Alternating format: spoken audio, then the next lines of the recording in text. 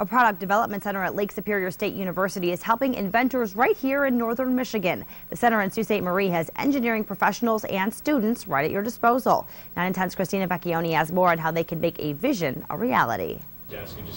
I had developed a drawing after a dream I had at 3 o'clock in the morning. All good ideas have to start somewhere. And I've been waiting for years for someone else to come up with something and finally got tired of waiting. Lake Superior State University's Product Development Center is the place to launch an idea into creation. Since we started, we've, we've met with over 200 clients and in that period of time completed about 45 projects. Eric Becks is an engineering project manager for the center. He and engineering students work with inventors to bring ideas to life. It's just a lot of engineering work and, and designing circuit boards, designing mechanical parts, uh, putting it all together and making the product work.